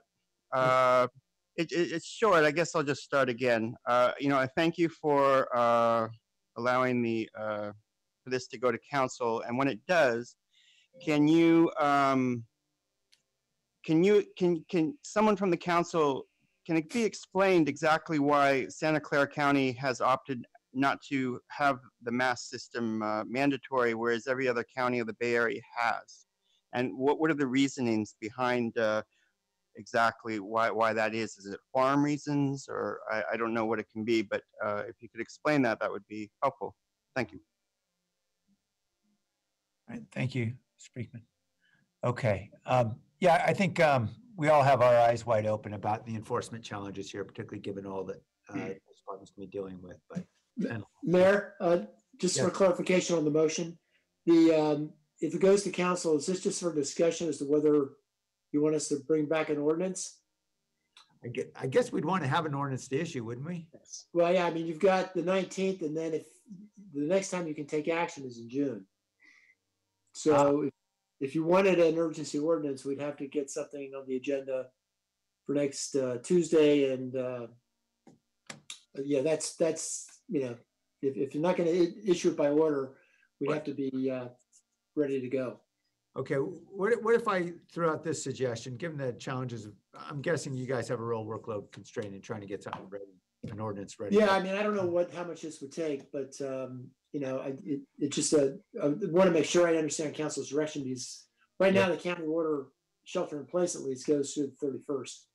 So Vice Mayor, let me just ask, would, would it be all right if we simply took uh, this to the council for a vote uh, in terms of uh, defining the outlines of this order? I know there are probably some variations out there that we'll want to talk about on the dais and then allow uh, the ordinance to come back. I'm, I'm a little concerned about us trying to race off because I know that there's already fights over whether or not, you know, joggers have to wear masks when they're out jogging and things of that nature. And I'm not sure that Rick's gonna have all the guidance to just assume what we want. No, I'm, I'm, I'm fine with that. Um, in, in most of the mandates, they have exemptions for hiking, jogging, riding your bike.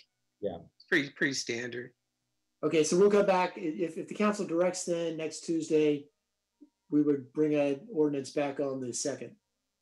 If, well, you know, Vice Mayor, if you're convinced that we, we have a pretty standard set of ordinances out there, we could simply cut and paste here.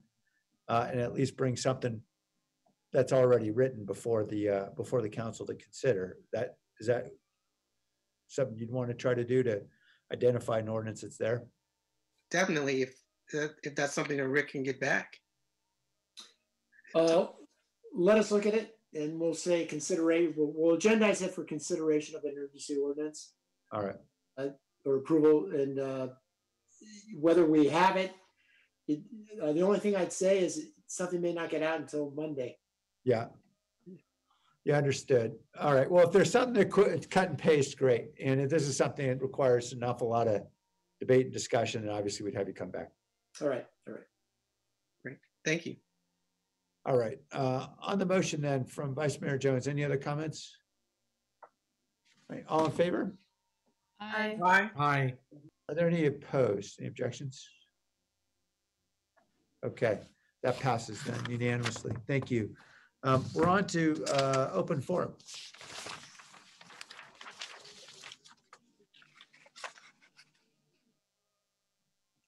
Uh, Mr. Beekman? Hi, thank you. Can you hear me? Yes. Thank you. Check. Maybe I'll say check, check from now on. Thank you. Uh, a tough closing speech today. Uh, in San Jose and across the country, a narrative is developing that the, this pandemic is somehow the fault only of China and the WHO. With this thinking, the US has been trying to practice a new round of warfare around the world at this time. As we are now in our third month of what can, may be at least a 24 month pandemic, at some point it will have to be taken into account that the US has possibly had some sort of important supporting role in how this pandemic has started. And that people in other countries will have to be held accountable and not willing to work through long term negotiations and continual impasse. Can responsible vaccination processes for many different countries be ready soon and cut through the bureaucratic uh, media, the bureaucratic and media red tape of the nations of the world? And what is the current state of the COVID 19 variation clotting the blood of children and young people? These are issues that need to be worked out between us. I feel with help from technology accountability practices and other human rights ideas for the US at this time to better acknowledge their own large roles in 9 11 01 and the economic meltdown of 2008. It would naturally invite China, the, the WHO, and others what could be their own more positive long-term sustainability practices. And I think you would hear a collective sigh of relief, uh, not only from in San Jose, but from other local communities and, lo- and local governments from around the world as well, if we were to all work on our good practices and good ideals. Uh, thanks a lot for the meeting today. It was, uh, it was a good meeting. Thank you. Thank you. And uh, the individual calling from phone number 4963, again, the number ending 4963, please unmute yourself. Yes, uh, the office of the city clerk is perhaps the most, one of the most important offices down at City Hall. Citizens, commissioners, and council members are dependent on the city clerk's office to get the right advice, or the uh, consequences can be devastating, as we saw with uh, Councilperson Manh Nguyen, and as we're currently seeing with the issue of the ballots. Also, they're supposed to serve the public, and the public is not supposed to be serving them.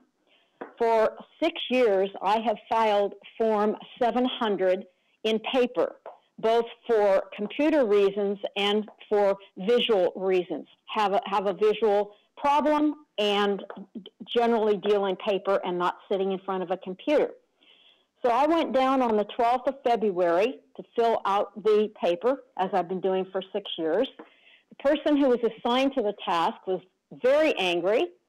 I came out and said she wanted me to file instead on the computer.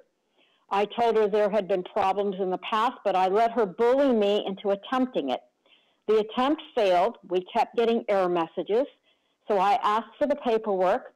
I filled it out. I turned it in, and I got a stamp.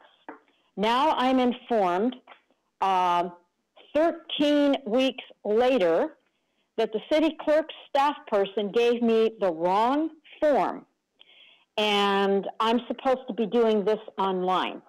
So I have a real issue about the city clerk's office giving out the wrong forms, uh, failing to respond to emails when I emailed repeatedly and asked for help. And it was only today when I again asked what was going on that I'm told, we gave you the wrong form. Sorry.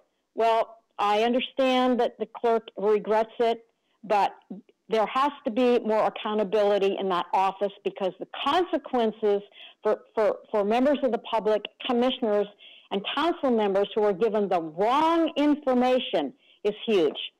So I'll be dealing with, with the clerk offline, and I'll also be calling the Fair Political Practices Commission. Thank you. Thank you. All right. Uh, Thank you, everyone. Uh, The meeting's adjourned. Thank you.